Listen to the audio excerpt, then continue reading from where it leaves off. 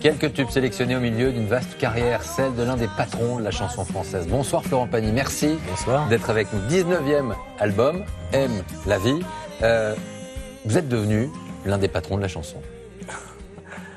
Je suis là depuis 30 ans. Ouais. Donc euh, c'est vrai que en général euh, on monte et puis on redescend puis après c'est un peu compliqué pour revenir mais mais bon quand on revient et qu'on reste en effet on peut être un petit peu considéré comme euh, faisant partie des meubles. Non, un peu plus que les meubles. J'avais compris que vous vouliez faire une pause. Un peu une pause improbable, hein, trois ans de carrière. J'avais bien entendu. Oui, mais même moi j'avais compris ça, je m'étais bien dit ça. Et, puis c'est l'histoire d'un neveu eh qui vient vous voir en disant j'ai des chansons pour toi. Euh, vous lui dites attends un petit peu. Mais il vient même pas me voir. Il m'envoie des mails, il m'envoie des signaux et je suis là et je me dis, il me harcèle. Je me dis il faut que je l'appelle pour lui expliquer que c'est pas du tout le moment. Mais en même temps, à un moment, il finit par m'envoyer le disque déjà fait. Et, je me dis, il faut quand même que j'écoute avant de lui dire que c'est pas du tout le moment. Et c'était bien. Et oui. Et oui, c'est là où les chansons euh, sont plus fortes que même les, les décisions qu'on peut prendre, parce que c'est vrai que quand d'un seul coup on, on, on, découvre pas tout l'album, j'ai pas tout pris, hein, Mathias, Mathias Junta, Junta, Junta, mais avec son copain Manu, Manu Martin qui lui fait les les, les musiques, et Mathias c'est surtout l'écriture, et, euh, et c'est vrai que d'un seul coup j'ai six chansons qui peuvent euh, déjà démarrer un, un bel album avec un esprit positif. Un esprit positif, c'est ce que je retrouve à chaque fois dans cet album. Euh, on a l'impression que vous avez envie de profiter de chaque jour. C'est un peu ça, c'est un peu cet enthousiasme-là, qui, c'est carpe diem, Florent Pagny? Et je crois que on a un peu tendance à penser qu'on est éternel, à pas réaliser que le parcours est pas si long que ça, et que finalement, si on pouvait aller plutôt euh, dans une direction de qualité de vie, que de quantité ou de je ne sais quoi. On court après beaucoup de choses. On va en parler avec Maud Fontou hein, dans un instant parce que c'est une question d'écologie. On court, on court sur cette bah, planète un ça peu devient, partout. Ça devient de l'écologie aussi. Mais c'est vrai qu'à un certain moment, tu regardes des fois les gens et tu leur dis euh, est-ce que euh, est-ce que tu es conscient de la chance que tu as puisque déjà tu vis mhm. et, euh, et de la beauté que c'est? Est-ce que quelque part, tu arrives à assimiler que, au lieu d'être là, de te plaindre toujours ou de te détruire, comme on a vu le, reportage sur la colline du crack, ou, d'aller encore plus loin, hein, il y en a qui vont jusqu'à se faire péter, à un moment tu fais, mais attendez, la vie est trop belle pour faire tout ce que vous êtes en train de faire.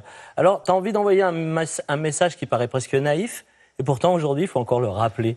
Il est loin d'être naïf. On va y revenir dans un instant. Le principe de Matin 30, c'est feuilleter quelques chapitres. Un jour, j'ai lu que vous étiez un mec normal à la vie extraordinaire. C'est vous qui l'avez dit. Euh, dans la fraise de ce soir, on va retrouver peut-être quelques clés de tout cela. Bonneville, la Haute-Savoie, c'est là-bas que tout a commencé, sur la place du village. Jean-Jacques Goldman, votre rencontre, enfin l'une des rencontres, et quelle influence il a eu pour vous. Euh, la Patagonie, les grands espaces, la liberté, pas seulement de penser, la liberté de vivre. Euh, le général de Gaulle, on verra pourquoi dans un instant. Et puis tout à l'heure, donc, ce sera Maud Fontenoy qui viendra nous parler d'écologie et d'aventure également. Juste, Retournons un petit peu en arrière, à Bonneville, en Haute-Savoie. Tout a commencé là-bas, sur la place du village. C'est les premiers cachets quand vous avez 13 ans. Vous vous mettez à chanter sur la place du village et on vous balance des pièces comme ça? Non, c'est vrai que c'est ah, ça? vous avez, Oui, bah, en effet, c'est dans cet endroit-là euh, où on est un jour, euh, en ayant un petit peu, euh, en ayant volé un petit peu la, la, la gourde de Sangria, puisque c'était une réunion d'un village espagnol qui se jumelait. Ça vous a rendu euh, un peu plus léger. Voilà, et ça m'a un peu désinhibé. Et sur la place du village, une colonie de gens sortaient parce qu'il y avait un restaurant un peu chic, et ils sortaient pour monter dans leur bus. Ils étaient un peu en train de chanter aussi, ils avaient bien fêté aussi. Et moi, je passe au milieu et j'envoie quelques notes ils m'écoutent, ils, réalisent qu'il y a un petit bonhomme qui est sur son vélo en train de leur envoyer quelques notes, ils me font revenir et ils me font chanter dans le bus. Et là, à la fin, ils me donnent plein d'argent. Et je repars voir mes parents et j'ai déjà les mains comme ça. Alors j'ai, euh, oui, j'ai 12 ans. Et, euh, et je réalise pas encore à quel que vous avez une voix, que l'importance de ça pourrait être l'une des clés de votre vie? Bah, oui, oui, à ce moment-là, on peut se dire que, oui, ça peut basculer. Ça peut, ça peut provoquer des choses comme ces, ces moments-là qui peuvent d'un seul coup changer plein de trucs. Après, il y aura le critérium du Dauphiné libéré. On vous voit là, effectivement, avec Zapimax à l'époque. À la maison, il y a du Luis Mariano, du Sardou, du Lenormand. Et puis vous vous dites, allez, il y a cette voix, je vais partir. Vous partez à Paris euh, pour le conservatoire de Levallois, je crois. Oui, exactement. Euh, ensuite, il y a, on va dire, des hauts et des bas, comme ça peut être euh, à, cette époque-là. Euh, vous retrouvez barman Oui, oui. Enfin, en fait, euh, la chanson euh, est un monde. J'espérais rencontrer des auteurs, compositeurs, des gens qui m'apportaient des chansons. Et en fait, je développe que ma technique vocale.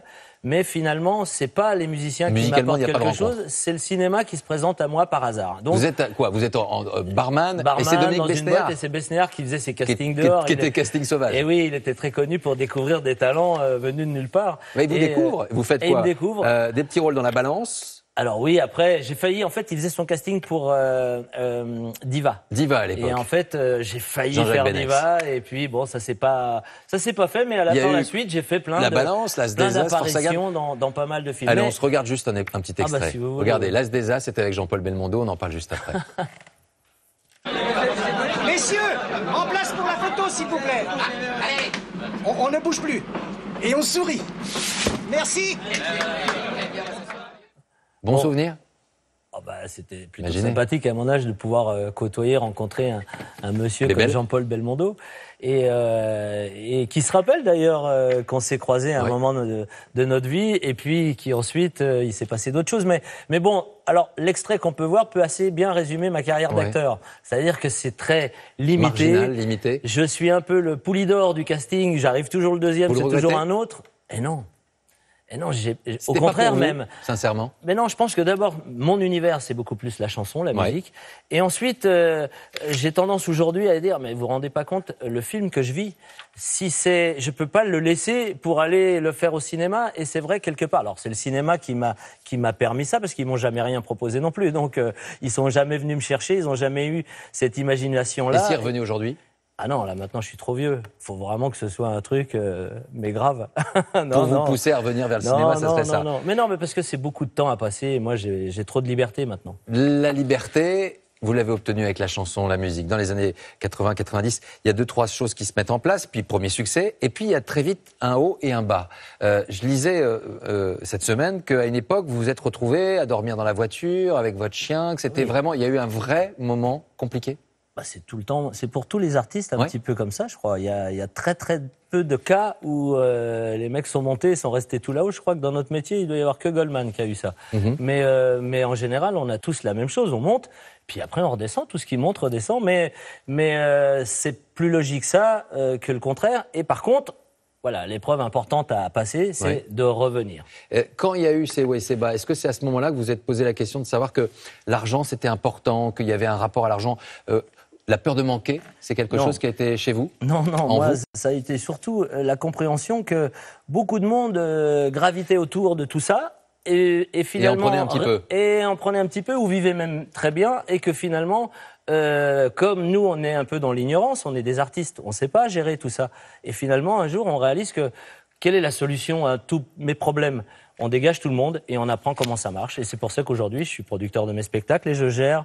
Euh, j'ai pas de manager, j'ai pas de producteur et je gère mes contrats. Article 22. Je me Chacun se démerde comme il peut. Comme il peut. C'est une, pas mal, c'est une bonne devise ça. Euh, Les problèmes, à un moment donné, avec le fils, ça a été des blessures. Vous avez considéré ça comme quoi, comme mais, mais comme une grande école. Mais j'ai appris monstrueux. Alors c'est dur à vivre. Eh, bien sûr que normalement, euh, pardon, normalement on s'en sort pas. Mais si on s'en sort, on devient un chanteur fiscaliste comme je le suis aujourd'hui. Ma liberté de penser, ça reste un paradoxe incroyable. Finalement, eh c'est peut-être avec ce disque que vous avez payé le plus d'impôts. Mais c'est c'est ma plus grosse chanson. Plus grosse chanson. Alors c'est triste un peu parce qu'un sujet pareil qui devient aussi fédérateur, on a, on a, envie de dire posez-vous des questions parce que c'est plus fort que savoir aimer. Donc c'est plus fort que l'amour. Euh, dommage. le moment où tout a basculé, c'est aussi ce moment où, alors vous tournez euh, un petit peu sur les enfoirés, vous chantez du balavoine, et puis vous allez rencontrer Jean-Jacques Goldman, qui va vous écrire quelques textes sous, le nom de Sam Brewski. Pourquoi il, écrivait sous pseudo? Il écrit souvent sous pseudo? Oui, il, aimait bien, euh, pas forcément. Euh, Apparaître sur tous les albums de tout le monde. Pour pas avoir, pour pas donner la sensation qu'il est derrière, derrière tout le monde. Mais c'est vrai que au moment où il vient me filer un coup de main, il me file vraiment un coup de main. Et presque le plus gros coup de main qu'il m'a donné, c'est de me faire refaire les Restos du Cœur et de faire ce duo avec Carol Fredericks euh, de, au Happy Day. C'est ça qui relance. Ah ça, ça, ça a été une, une résurrection.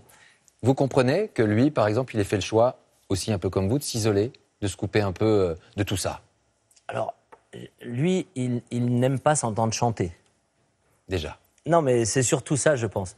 Il n'aime pas, il, il n'a pas la notion de la valeur qu'il a quand il chante. Alors c'est c'est ça qui est un peu paradoxal, c'est que et donc euh, il a petit à petit euh, plutôt préféré le retrait. Et chaque fois qu'on lui demandait de faire une intervention en guest, il venait jouer de la guitare puisqu'il n'aime pas s'entendre chanter. Et vous, cette prise de conscience vous oh. écoutez chanter, vous aimez votre voix Oui, moi ça va, ça va en vieillissant, ça va, je descends un peu. Quand il y a eu cette rencontre avec Pavarotti, ce sont des ah. images incroyables, ah, sincèrement. Ah bah ça, c'est l'épreuve Il choisit euh, plein de monde pour chaque pays et c'est vous. Mais parce qu'en fait, il prend que les plus gros vendeurs du moment dans chaque pays. Et à ce moment-là, je suis le plus gros vendeur. Enfin, vous avez une sacrée voix euh, aussi. Hein. Ah ben oui, mais sauf que j'aurais voulu, euh, j'aurais voulu bien avant pouvoir chanter avec lui. Mais bon, c'est là que ça s'est passé. Et si on voit bien ma tête, on se rend compte que je suis aussi à l'aise. Vous êtes en total ah, flippage. oui, je suis. ah oui, c'est vrai. Bah, le maestro qui m'a fait passer trois jours bien difficiles. C'est-à-dire Et là, parce que on rentre dans le, registre lyrique classique. Donc, euh, il n'est pas là pour venir faire de la pop. Quoi. Donc, quand je demande de descendre un peu, on descend pas. Et là, je suis au bout de ma life. Mais en même temps, euh, j'y arrive quand même. Et vous l'avez fait. Et, je l'ai, et oui, c'est l'épreuve que, que j'ai réussi à passer.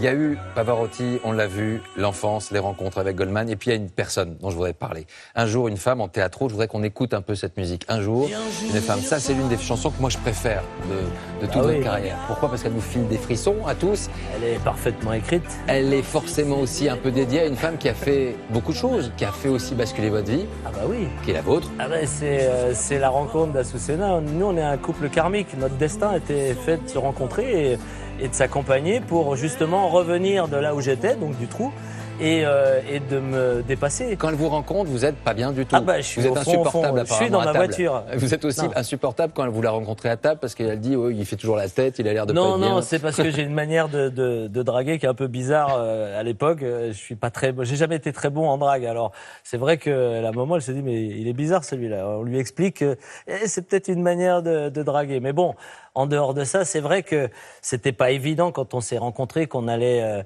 faire le parcours ensemble. Et puis ça s'est défini. Et puis quand on en a pris conscience, on, l'a vraiment assumé comme la belle aventure qu'on vit depuis 26 ans. Hein. Une très belle aventure depuis 26 ans qui vous a emmené à travers le monde et notamment en Patagonie, les grands espaces. On va en parler avec notre invité maintenant. L'heure de recevoir notre deuxième invité, l'une des femmes de la